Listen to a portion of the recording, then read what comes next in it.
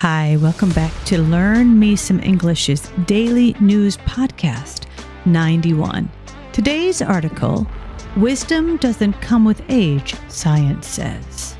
My name is Jean Measom. You can find me at www.learnmeasom, English.com. You can find this article and many more of the same at www.engoo.com. Today, I'm going to give you the vocabulary necessary to help you completely understand the article.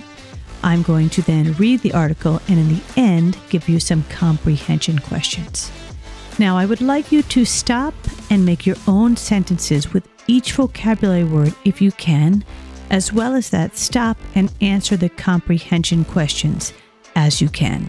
Okay, let's get started with today's vocabulary. 1. Trump verb, to surpass someone or something.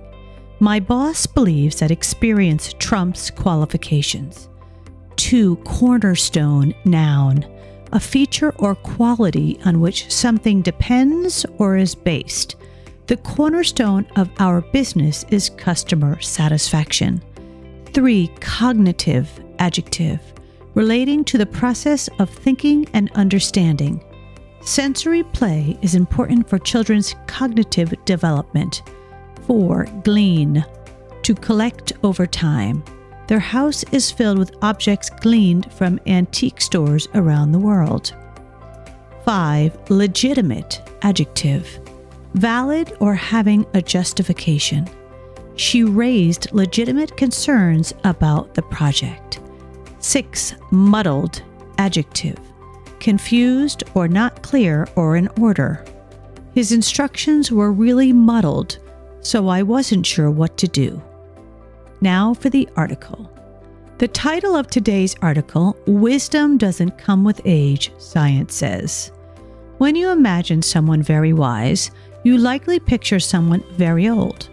But does wisdom truly come with age? Probably not.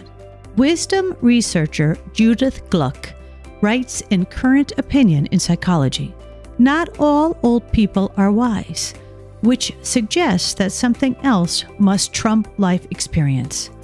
But first, what is wisdom? It's difficult to define, and we've only recently begun to truly study it scientifically. So called developmental models identify experience as the cornerstone of wisdom but other models focus on cognitive ability or even personality. Developmental models say what we glean from experience depends on us, on how we face uncertain situations, and how open we are to reflection, learning, and interpersonal connection. Cognitive models focus on wise thinking, including awareness of the limitations of our own knowledge as well as awareness that others might have different but legitimate perspectives.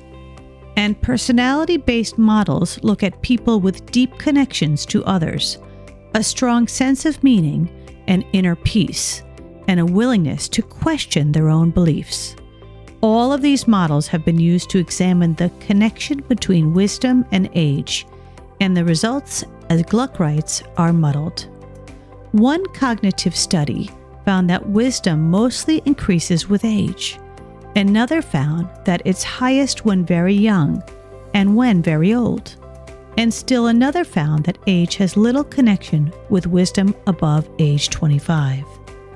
Meanwhile, personality based studies have found that wisdom decreases with age, or that it's unrelated to age, or that it's highest in middle age.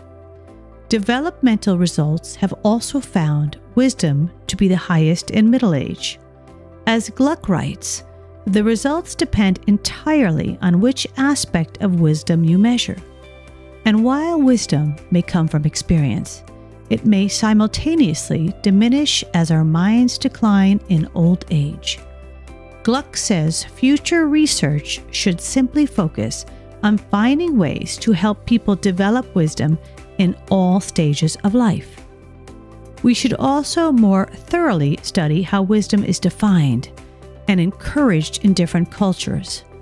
enabling everyone to make better decisions, both as individuals and as a species. Now for the comprehension questions. 1.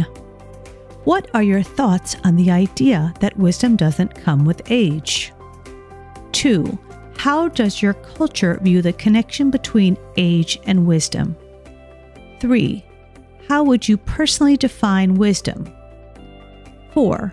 Would you say you're wiser now than you were 10 years ago? 5. Who is the wisest person you know? Why do you consider them wise? I hope you enjoyed today's article. Again, my name is Jean Measom. You can find me at www.learnmeasomenglish.com. I put out these daily news articles in English Monday to Friday. Thanks for listening, and I hope to see you again next time. Bye.